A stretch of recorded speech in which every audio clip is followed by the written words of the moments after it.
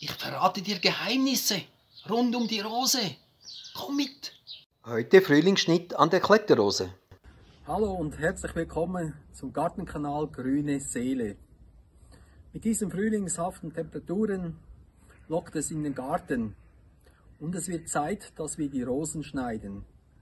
Denn sie machen doch sehr schnell jetzt vorwärts mit Austrieb. Ja, wenn sollte dann geschnitten werden?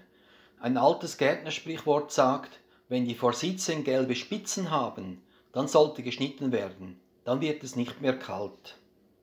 Auch nach meiner Erfahrung werden die Rosen gerne zu früh geschnitten, so kann es immer noch Spätfrostschäden an den Neuaustrieben geben. Aber nun legen wir los. So sieht unsere Rose vor dem Schnitt aus.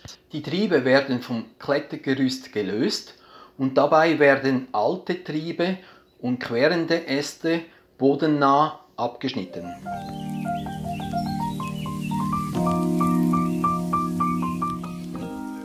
Es werden etwa vier bis sechs starke vitale Triebe an der Pflanze belassen. Auch diese Triebe werden eingekürzt und zwar bis auf einen vitalen einjährigen Seitentrieb. So wird alle Kraft auf diesen jungen, vitalen Seitentrieb abgeleitet. An diesen vitalen Trieben werden die Seitenäste bis auf den Leitast, auf den Astring entfernt. Dies wird vor allem bei vitalen, tollen Sorten gemacht, die sowieso viele Neuaustriebe bilden.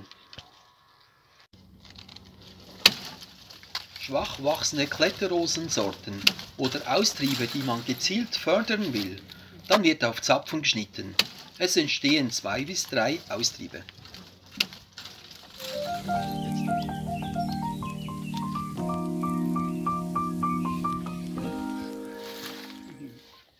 Die verbliebenen Zweige werden bogenförmig geführt und angebunden.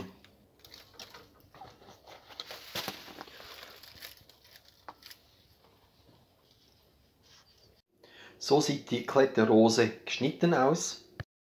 Zusammenfassend kann man sagen, es verbleiben vier bis sechs Triebe, es wird Altholz entfernt, kranke Triebe oder querende Triebe.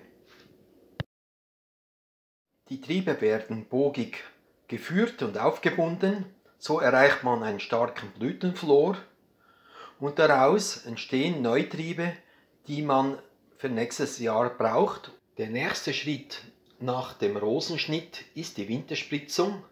Der richtige Zeitpunkt ist, wenn die Knospen schwellen, aber noch keine Blätter haben. Es werden dabei kupferhaltige Mittel verwendet.